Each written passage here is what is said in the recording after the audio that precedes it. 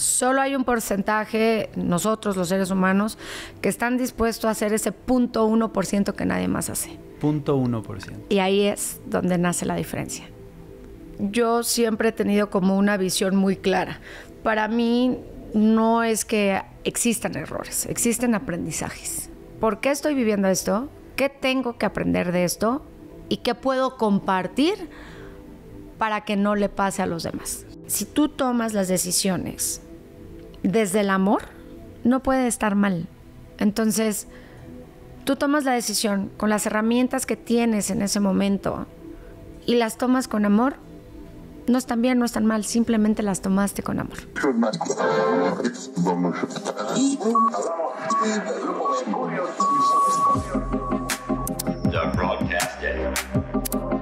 Mi mejor error con Danny. Bienvenidos al podcast. Hoy, hoy voy a tener la fortuna, bueno, vamos a tener la fortuna todos, de poder platicar eh, muy profundamente con una persona que, que nos hizo soñar. Una persona que en mi juventud, porque aparte la vivimos juntos, lo podría decir de esa forma, eh, me hacía me hacía sentir y me hacía querer ser artista. Aunque ahora estábamos a la par saliendo ahí. Pero la verdad es que una mujer con una gran trayectoria, actriz, eh, empresaria, eh, madre, o sea, todas las cualidades espectaculares aquí están con nosotros. Entonces vamos a platicar con Michelle Viet. ¿Cómo estás? Querido Dani, muchas gracias. Qué, qué bonitas palabras recibo de tu parte. Y sí, efectivamente, estábamos siendo pubertos al mismo tiempo, creo. Sí, ya ¿Cómo nos divertimos juntos? Qué historias, ¿verdad? Qué co- aparte, ¿cómo ha pasado la vida? Que hoy ya cuatro hijos tú, cuatro hijos yo. Eh, Qué maravilla. Y es, es así de... eh, En esa etapa estuvimos, o sea, nos encontramos, en esta nueva etapa nos encontramos, nos reencontramos y qué padre poder estar sentados aquí y platicar de cosas que nos forjaron para estar hasta este momento donde estamos, ¿no? Así es. Justamente compartiendo con, con esto, ahora sí que el poder hablar en mi experiencia, como yo siempre digo, yo no puedo hablar de nada que no haya vivido previamente. Yo únicamente me atrevo a emitir un juicio o a compartir algo siempre en mi experiencia. Correcto. Entonces, creo que es muy puntual lo que dices eh, eh, y sobre todo enfocado al que es muy fácil tener un éxito, pero lo que cuesta trabajo y lo que es de admirarse es cómo mantenerte, Claro. ¿no?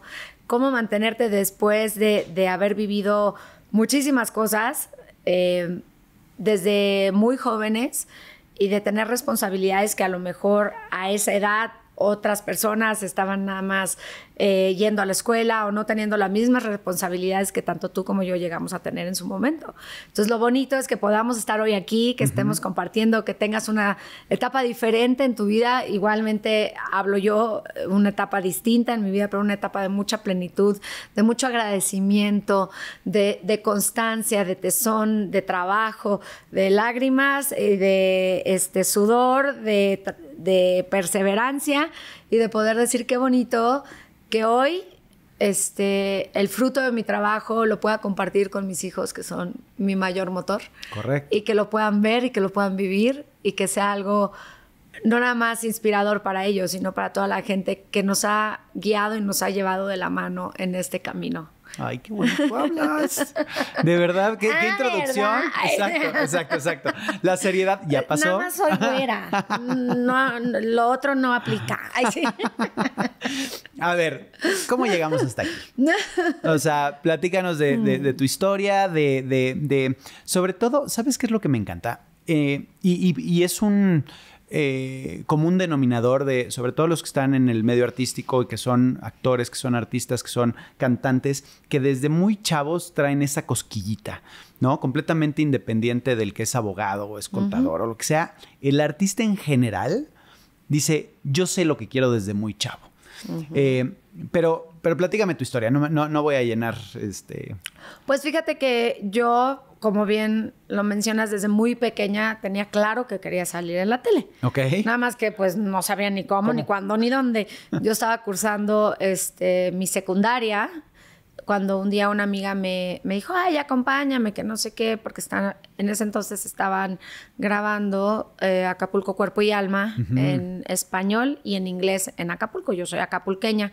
Contrario a lo que dice el internet, no, no nací en Iowa, nací en Acapulco Guerrero. Guerrero, el que nació en Iowa es mi papá, en paz descanse, y toda su familia, pero no, yo soy acapulqueña, 100% mexicana.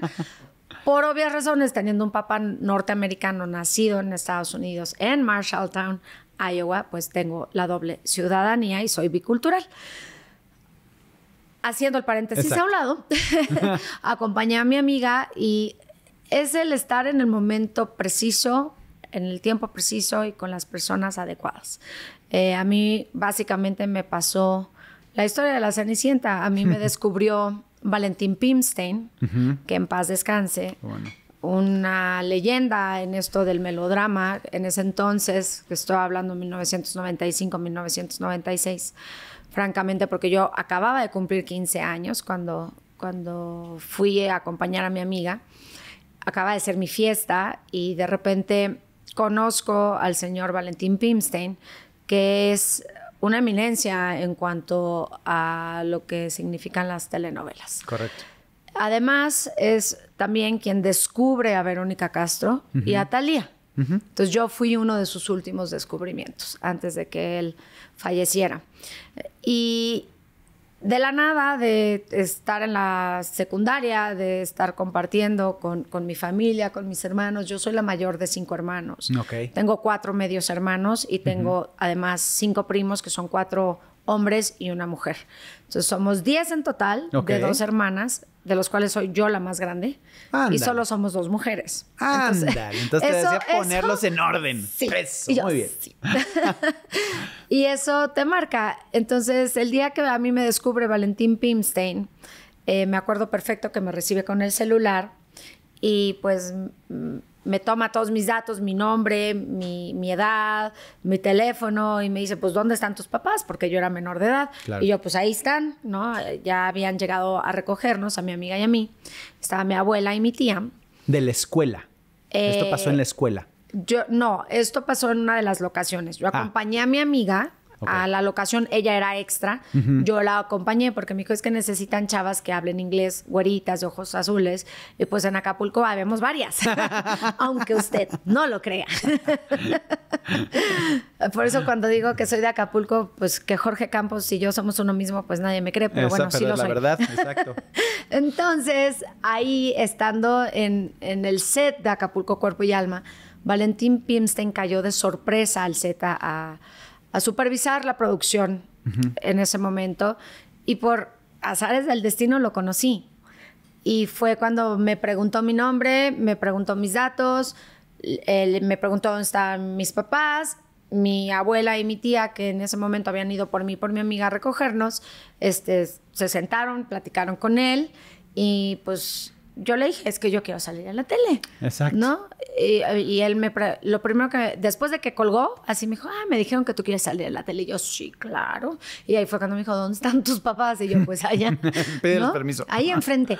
Este, y ya se nos, se nos dijo que no- me iban a hacer unas fotos y que me iban a hacer una prueba de, de televisión, que me acuerdo perfecto que me tocó hacerla con Juan Soler. Ándale. Cuando recién empezaba Juan Empezaba, Soler, ¿no? Que era claro. un guapísimo. Sí, sí, y entonces sí, yo sí. nada más lo veía así, no me podía ni concentrar ni nada. Yo veía, ay, si es de verdad o no es de verdad. O sea, no sí, entendía no, sí, nada. sí, pero sí. bueno, este, me hacen estas pruebas y me dicen, una semana te hablamos.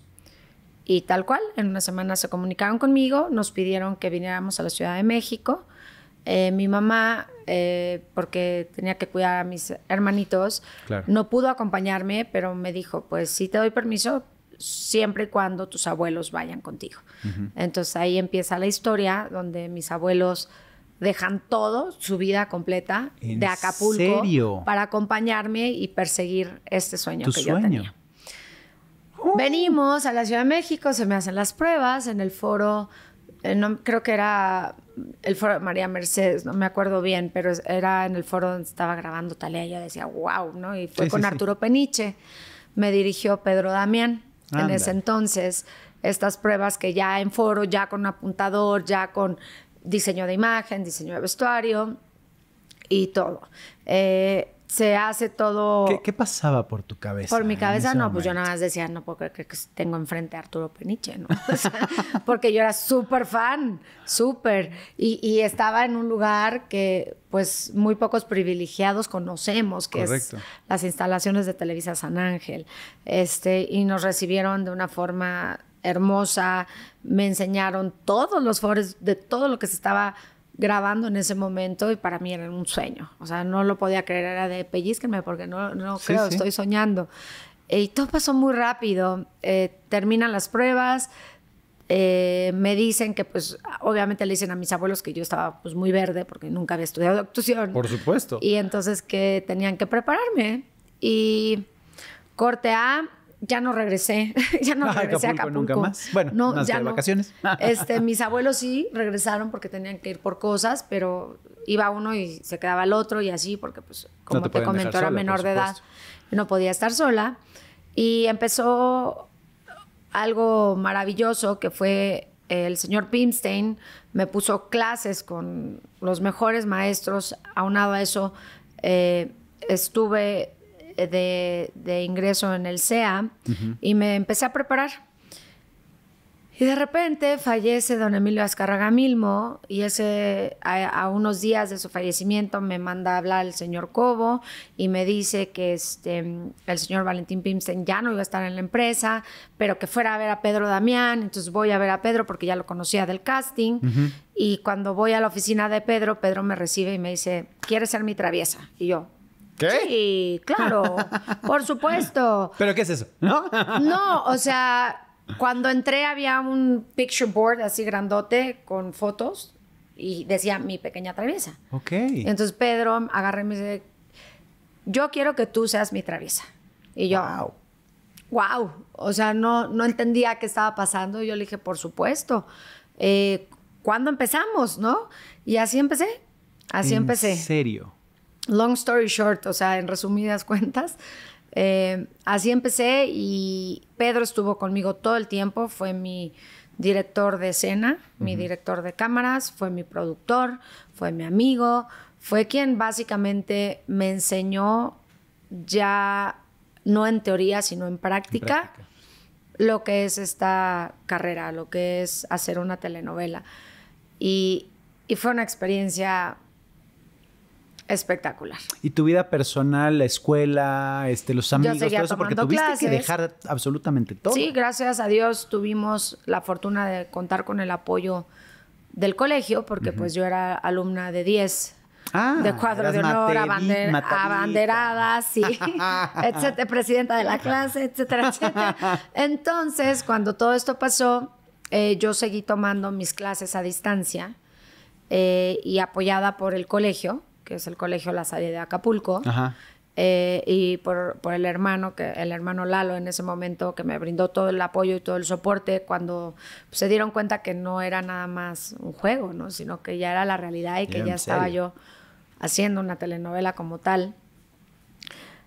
Tuve clases particulares, tuve este, a distancia que me mandaran mis cuadernos, los mandaba de regreso y, y así pude terminar este, secundaria y primero de prepa. Qué responsabilidad tan más grande, ¿no? O sea, estás trabajando, aparte es. estás trabajando en una producción muy importante Sí. y, y eres la protagonista de esa producción tan importante de miles de millones de pesos.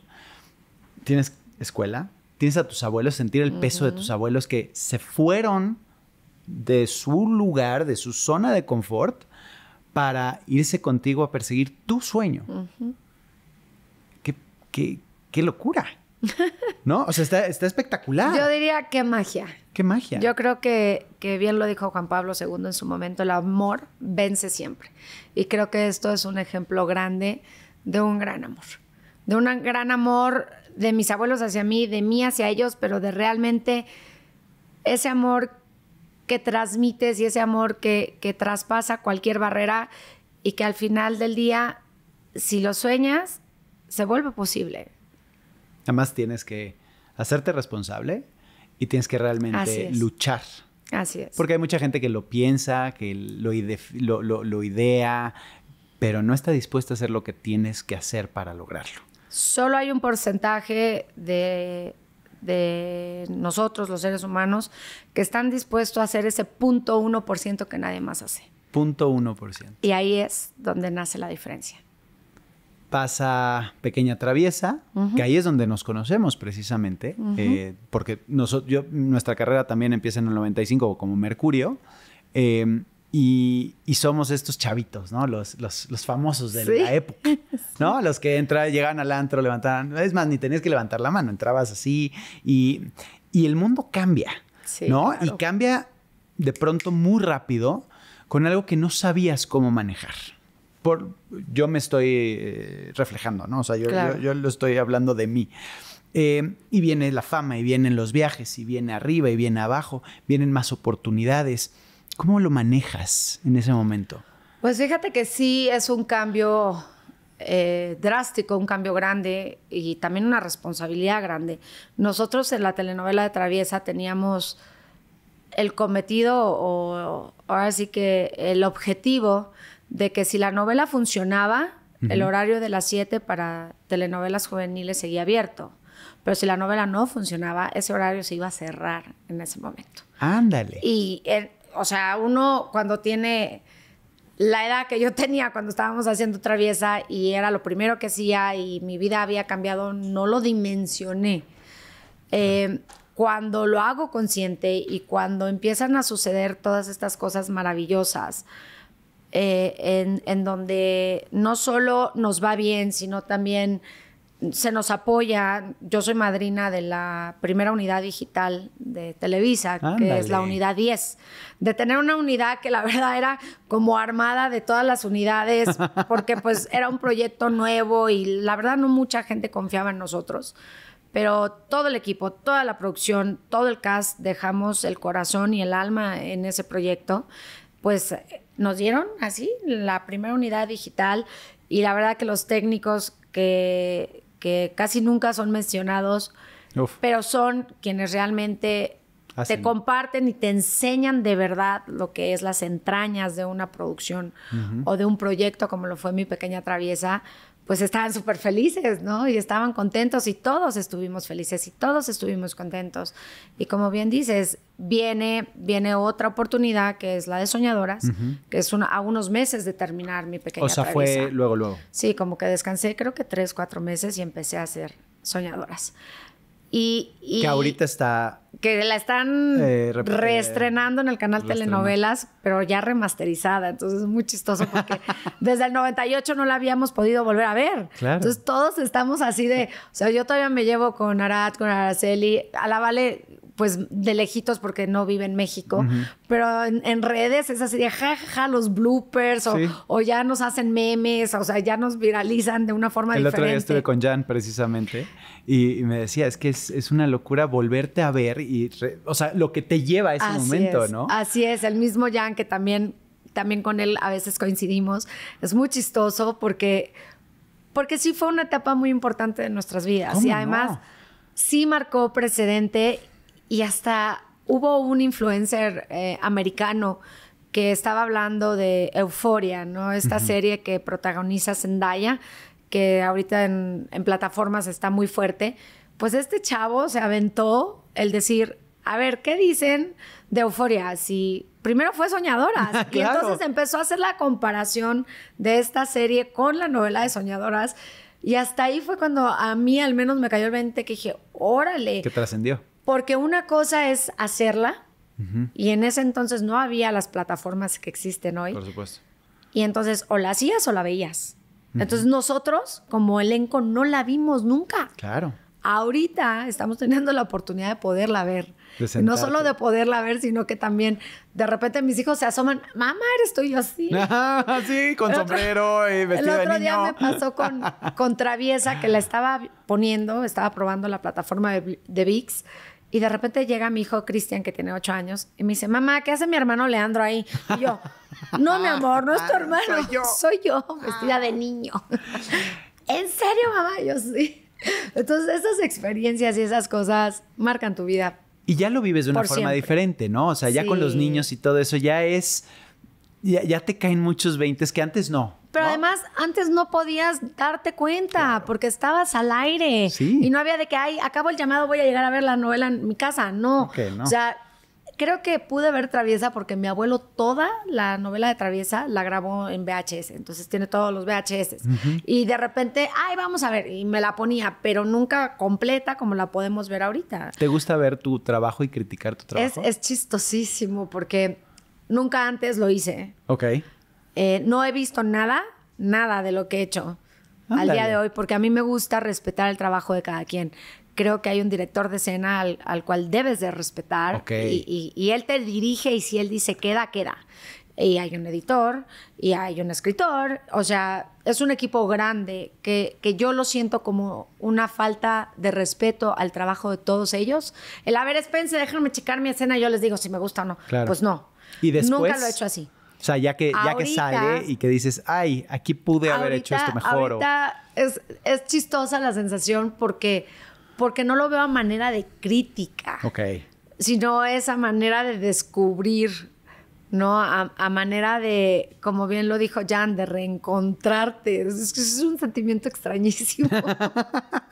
Ya sé. La verdad, porque, porque además los proyectos de hoy no son los proyectos de antes. Claro que no. Entonces es una generación y es una escuela diferente. Totalmente. Eh, antes existían unas cosas que eran ejes, hoy ya la cámara se puede mover por todos lados, no pasa nada. O sea, creo que, que sí me gustaría en algún momento sentarme a, a echarme los proyectos que he hecho, pero así de corridito, porque nunca hemos tenido esa oportunidad. Y yo no sé si en ese momento empezaría, no, pues aquí hubiera estado mejor haber hecho esto, el otro, pero pues ya too late, Sí, demasiados exacto, años después. No, pero de, de eso puedes aprender para los siguientes trabajos, ¿no? No, yo creo que, que ahí sí siempre he sido muy respetuosa del trabajo de todos, ¿no? Zapatero a tus zapatos, yo soy actriz, yo voy y actúo. Y me dijeron si que estuvo mi bien, director me bien. dijo que está bien y queda, punto. O sea, yo creo que, que siempre he sido muy clara en eso y me gusta respetar el trabajo de todos. Desde el de que escribe, el- el- desde el guionista que escribe el texto, siempre lo he respetado. No me gusta cambiar palabras. este, si se me da la oportunidad de, de hacer alguna sugerencia, lo hago, pero siempre respetando porque he tenido la bendición y la fortuna de tener grandes maestros, grandes directores, y, y esa es la escuela que me dejaron. Claro. Ahora, y lo platicábamos hace ratito fuera de las cámaras, que es el éxito, ¿no? Que es eh, el, el- el cómo la gente te percibe.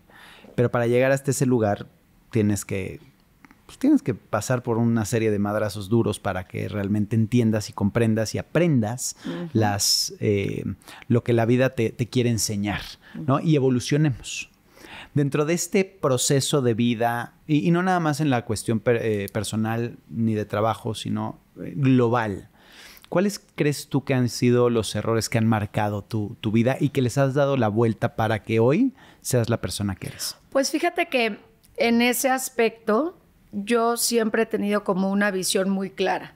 Para mí no es que existan errores, existen aprendizajes. Nice. Yo siempre que he vivido o experimentado, ya sea profesionalmente o personalmente, algo, lejos de decir, chin, la regué, esto, bla, bla, bla, y tirarme y porfa, ayúdenme, siempre he sido, a ver, ¿por qué estoy viviendo esto? ¿Qué tengo que aprender de esto? ¿Y qué puedo compartir para que no le pase a los demás? Eso está buenazo. Entonces, y con esa teoría voy por la vida. Lo mismo se lo comparto a mis hijos, lo mismo se lo comparto a mi círculo cercano. La gente que me conoce sabe que siempre soy así, siempre le veo el lado bueno a todo. Ah, está increíble. Y, y- y si algo me ha definido y si algo hasta el día de hoy es como mi core belief o lo que, lo que me identifica o lo que más creo yo, Sí, tu creencia. es que todo lo que he vivido y todo lo que me ha pasado es por algo. Y todo esto es debido a que yo tenía que ser la Michelle que soy hoy. Claro. Y sin haber vivido nada de esto, no sería quien soy.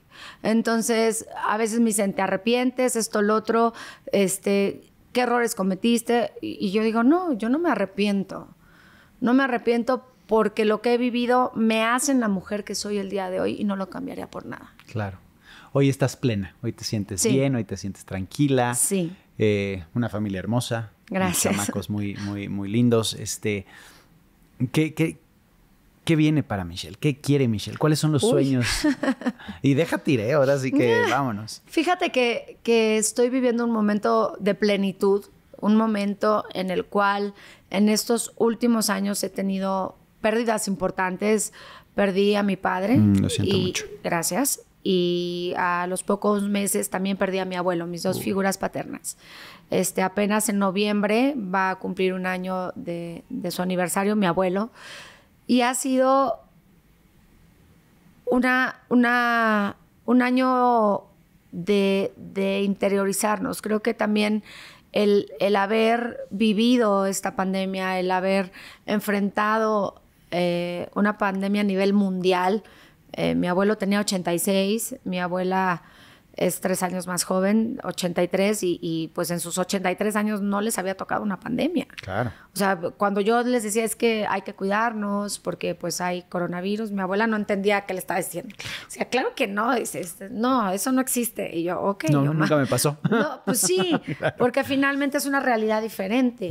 Y entonces, eh, el que esto pasara, el que regresáramos al hogar, a mí me dio la bendición y la fortuna, y no solo a mí, a mis, a mis hijos, a mi familia, de poder disfrutar a mi abuelo, que ya tenía enfisema, que era oxígeno dependiente, un año que sí estuvimos en casa, regresamos a nuestras raíces, pero fue un año lleno de amor, lleno de cosas lindas, lleno de interiorizarnos, de crecimiento, de, de realmente valorar lo que es importante en esta vida.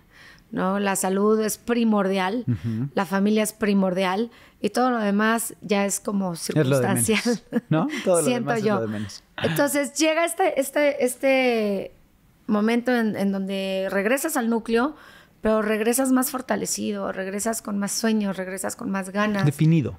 regresas como con tus objetivos más claros y regresas con este amor y este apoyo incondicional que no te lo da ninguna otra cosa más que tu familia. Sí, y tú mismo, ¿no? Y encontrarte a tú mismo para decir, esto es lo que quiero y, y esto ya no lo quiero. Tal cual, para saber correctamente qué no quieres y Exacto. buscar cumplir los sueños y buscar el seguir haciendo lo que amas y lo que te apasiona.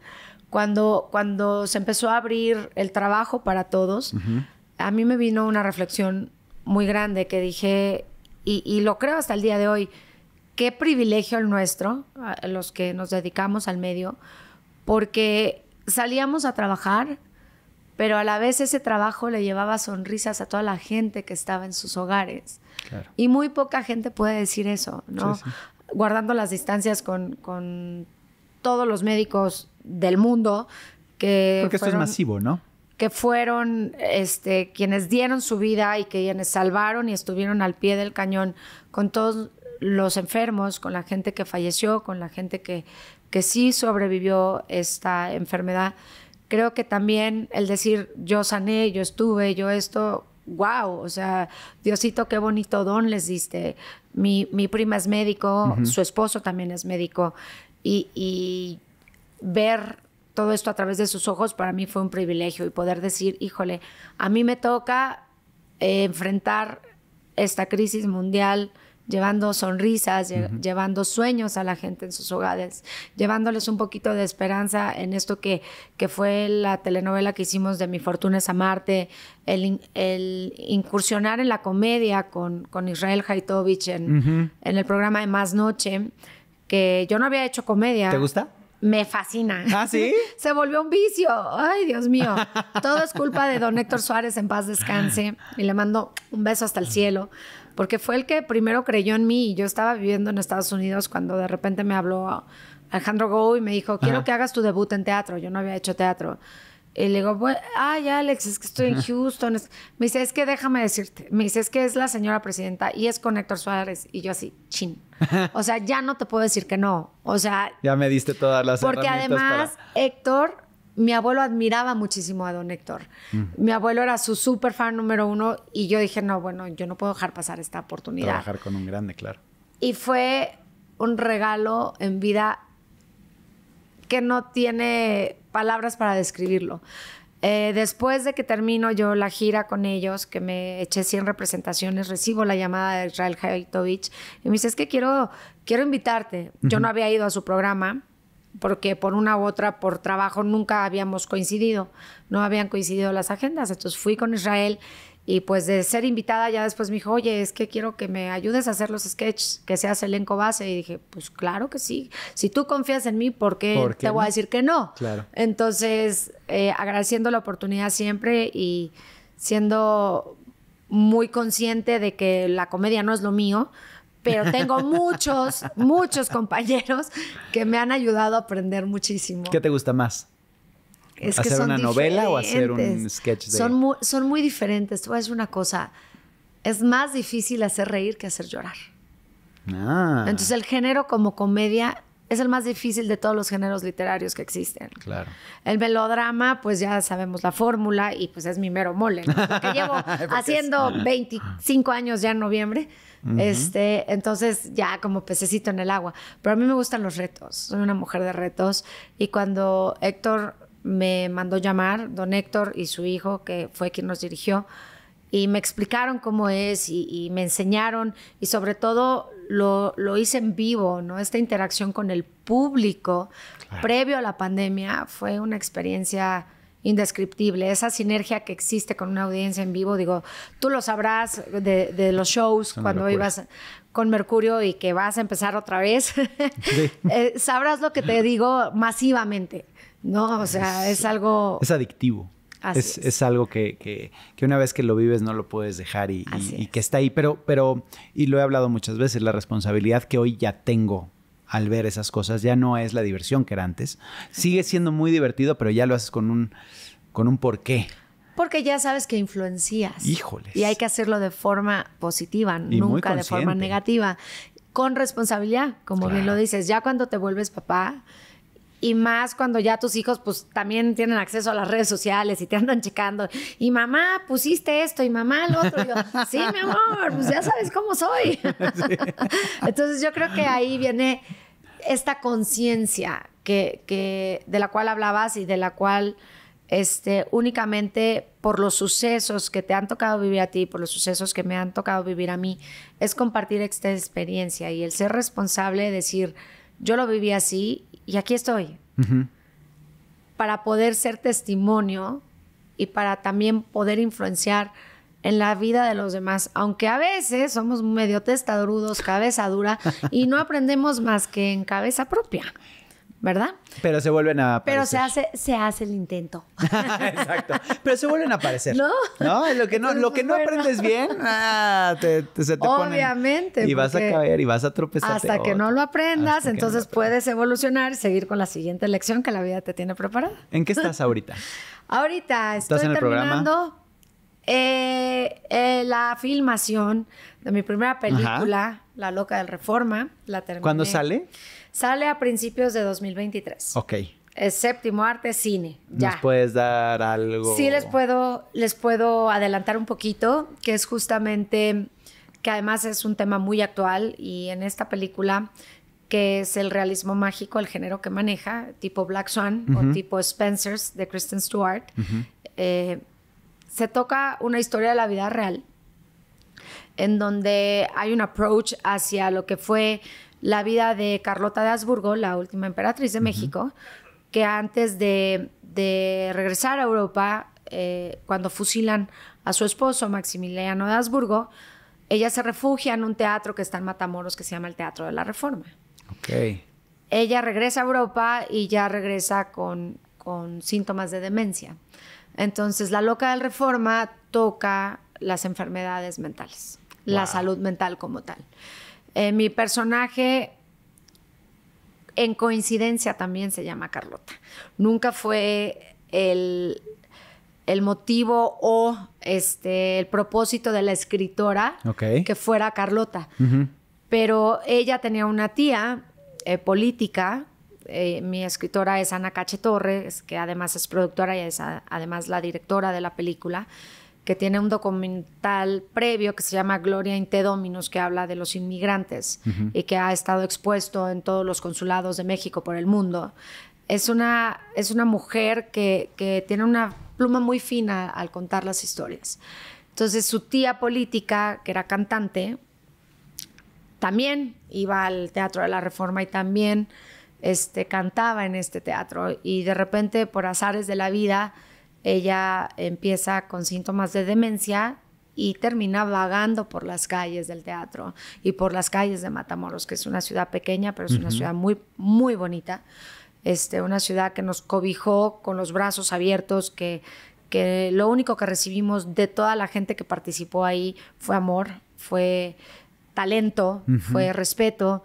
Todo el cast, toda la producción, era una producción pequeñita, es de Matamoros. Entonces, Ah, a diferencia, increíble. creo que yo era la única que no era, pero ya me van a dar acta de nacimiento matamorense, entonces, pues bueno, Ya puedo gané. decir que soy de allá.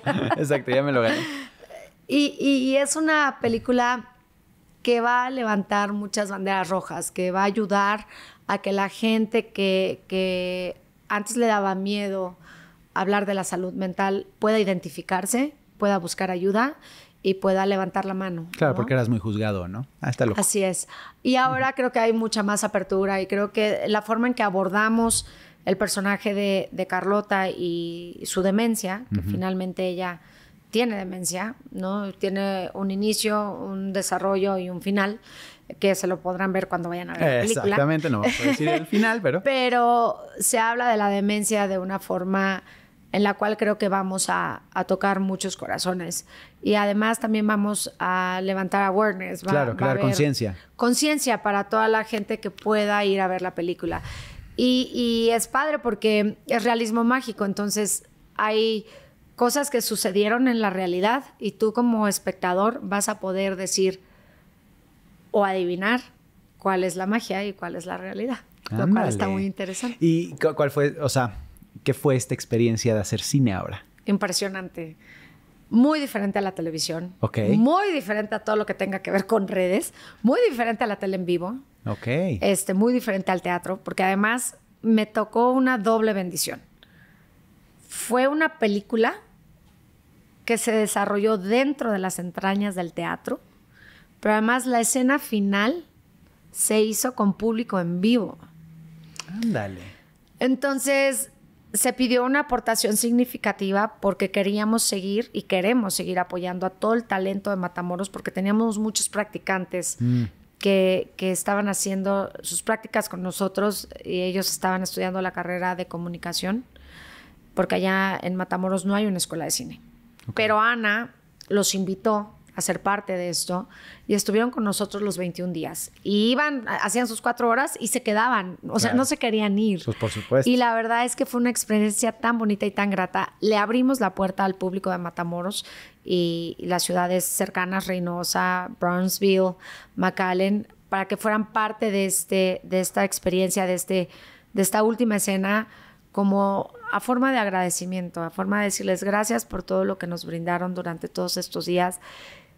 Y quedó ¿Sí? ¿Qué te puedo yo decir? Pues Una experiencia, híjole, brutal. La tenemos que ver. Brutal porque la gente, tú lo sabes, la gente en teatro interactúa contigo. Correcto. Y que al mismo tiempo eso se esté filmando. No puedo decir más Es que la gracias, magia. gracias, gracias. ¿No? O sea, punto. No hay más.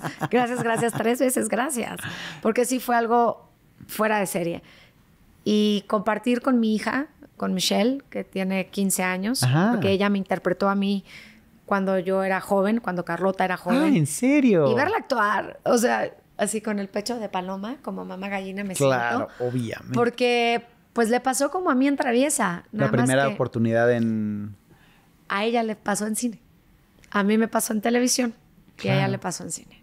Entonces verla desenvolverse, no meterme porque no soy mamá águila, ni mamá araña, ni mamá de nada de esas cosas, que está encima de su hija, no.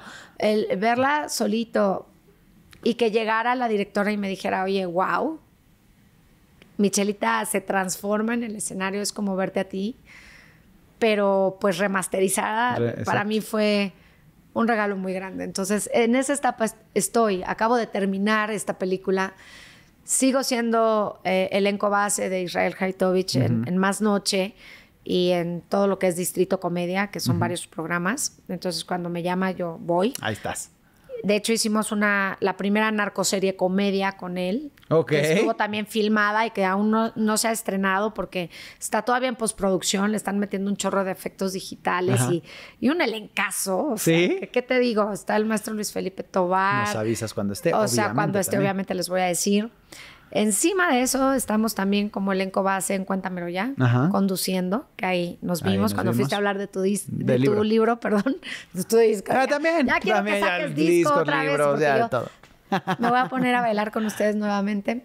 Es que en Amigas y Rivales estaba Alex Sirvent con nosotros. Sí, claro, lo Entonces, sé. pues también era una locura, ¿no? O sea, era mucha cercanía. Y, y, y qué, qué te puedo decir? Siempre fan del trabajo de mis compañeros Ay. Del tuyo mismo.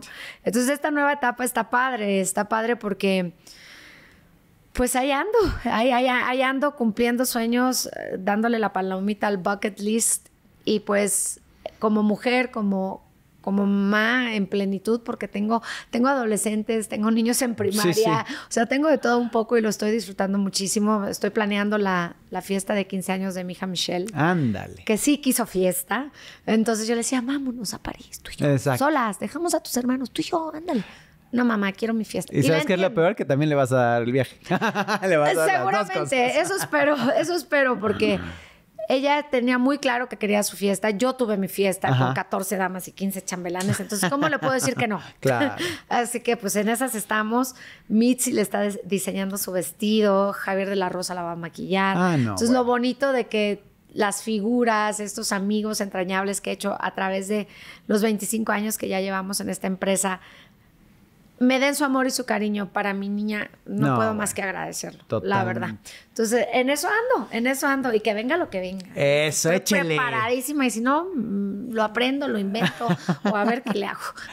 ¿Cuál, ¿Cuál sería ese, ese consejo o ese... No, no sé si consejo, porque el consejo es como leccionar a la gente, sino más bien como ese mensaje para la gente. Mi mejor error es este programa, ¿no? es, es de lo que se trata y es aprender de los errores, aprender de los fracasos. Como bien lo dijiste, para mí no hay un error, sino hay un aprendizaje y cómo verlo Tal así. cual. Pero ¿cómo, ¿cómo le pones el chip a la persona para que lo vea de esa forma, para que la vea de una forma positiva y no clavándose en lo negativo y no...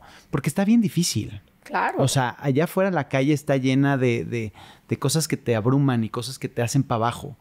¿Y cómo puedes ver ese rayito? Espera, Lo que decíamos en tu live, ¿no? Ahorita, que atrás de las nubes está el sol. Pues yo creo que, que la clave o, o no la clave, más bien lo que yo te puedo compartir en mi experiencia, creo que es humanizándolo. Finalmente, todos somos seres humanos, todos tenemos sentimientos, se vale reír, pero también se vale llorar. Claro. Las lágrimas limpian el alma.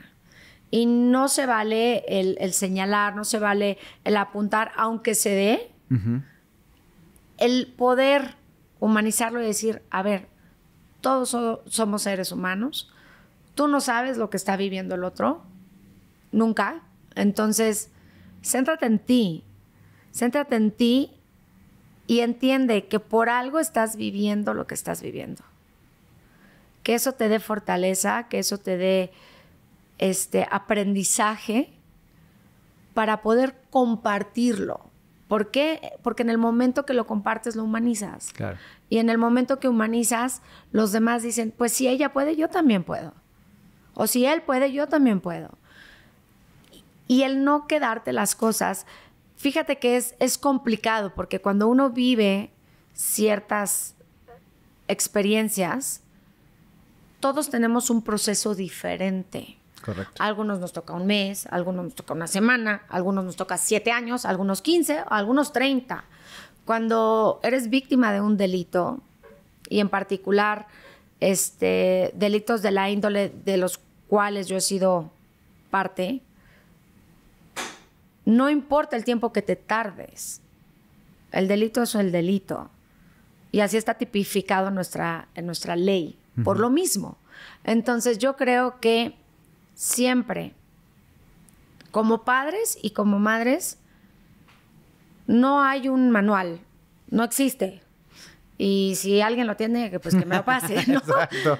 Amazon.com. pero lo único que sí hay, o lo único que yo sí les puedo compartir, es que si tú tomas las decisiones desde el amor,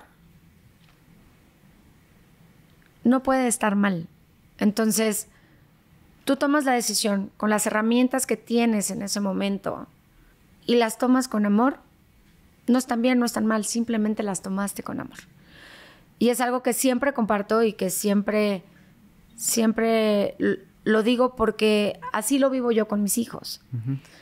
No subestimar a los niños, sino al contrario, aprender de ellos, hablar con ellos a su nivel, pero siempre hablar con la verdad por delante. Y todo lo que hagas, siempre hazlo dando el 200%. Así te pares en la mañana a barrer, barre con tu 200%. O sea, si no, mejor ni lo hagas, porque eso se transmite. Y también se lo digo a mis hijos, lo que hagas siempre, da tu 200%, porque si no, mejor, mejor no lo hagas. Y creo yo que, que humanizar y tomar las decisiones basadas en el amor siempre va a ser un buen camino. 100% de acuerdo. No, bueno, la, la- la- la entrada y la salida, o sea, quedó espectacular. ¿Qué te puedo decir? Mitch, de Te verdad. lo digo de corazón. ¿Qué, Exacto, qué más? es que así es como tiene O que sea, ser, soy ¿no? transparente. Y eso, y eso me fascina y, y- y tenerte en este espacio y escuchar eh, de tu viva voz eh, el cómo ves las cosas, creo que, que nos nutre y creo que nos enseña que, que sí se puede, ¿no? Aunque hay Por adversidades supuesto. y aunque hay dificultades y aunque hay cosas... Y siempre las va a haber, Dani. Y, y la verdad uno siente que los, los problemas te abruman. Claro. Pero en esos segundos piensa que lo que a ti te está abrumando puede ser la felicidad de alguien más. Y ahí es cuando dices, gracias, Claro. no me quejo. Veo la forma de solucionarlo. Veo la forma de seguir adelante. Veo la forma de compartir. Veo la forma de dar gracias. ¿Sabes? Qué delicia. Pues sí, así es. La verdad es que estamos alineados y, y creo que esta carrera nos ha ayudado mucho a, a- a sensibilizarnos, ¿no? Y a, y compartir eh, con la gente que se convierte en esta responsabilidad de poder pasar nuestras vivencias de una forma positiva, Positiva. y de una forma, eh, pues con el corazón en la mano, como es. Y creo que también, y a ti te tocará como papá, yo creo que, que sí la palabra educa, siempre, ¿no? Puedes educar con la palabra. Pero el ejemplo arrasa. Totalmente. Pues nos quedamos con esa, ¿te late? Ok. Bueno, te agradezco infinitamente que estés aquí. De verdad, eh, nos podríamos aventar siete horas más. No, bueno, pero te Este, tienes que ir al ensayo, si no, exacto, ¿quién se va a aprender la coreografía? Exacto, maldición. Me ¿Quién se va a probar esos vestuarios psicodélicos? Ay, no, no yo es cierto, sé, estoy ya bromeando. sé. No, no, no, no, no vamos a salir con plumas esta vez. Pero de verdad, este es tu espacio, este es tu lugar, esta es tu Gracias. casa. Gracias, gracias, gracias por compartir. Y Mitch, ojalá y esto no se quede aquí y sigamos trascendiendo y sigamos inspirando y sigamos tocando corazones. Así sea. Me mando un besito. Los adoro. Gracias. Suscríbanse, hagan lo que tienen que hacer. ya lo Eso, saben. campanita. Exacto, campanita, ya lo saben. Todo. Nos vemos. Besos, gracias. Compartan. Exacto. No te pierdas el siguiente podcast. Esto se acabó.